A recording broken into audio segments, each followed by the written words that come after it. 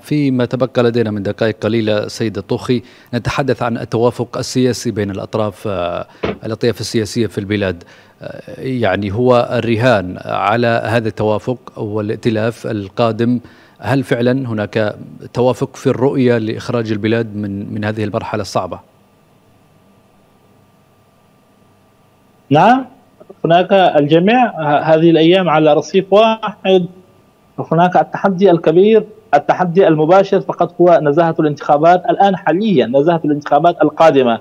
بما أن هناك الانتخابات في بنغلاديش هي تتهم آه، منذ آه، هناك آه، سنوات بالتزوير. هناك لما أن هذه الحكومة هي مؤقتة فالتحدي الكبير بأن هذه المؤقتة إلى متى هي ستكون باقية.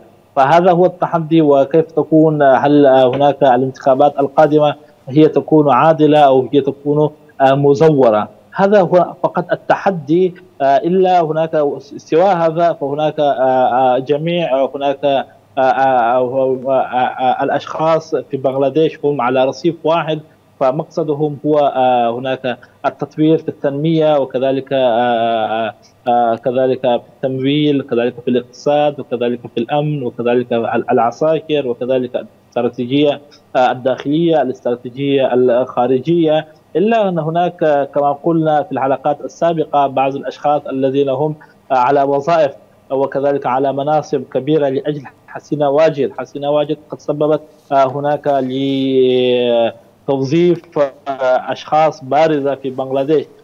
هناك هم تحدي أمام محمد يونس سواء هناك هذا الحزب الواحد أو الأشخاص المنتمون لهذا الحزب أو كذلك جمعية الطلاب المنتمية لهذا الحزب. آه، سواها آه، هناك جميع آه، أفراد بنغلاديش وكذلك جميع أحزاب بنغلاديش وكذلك العساكر هم على رصيف واحد.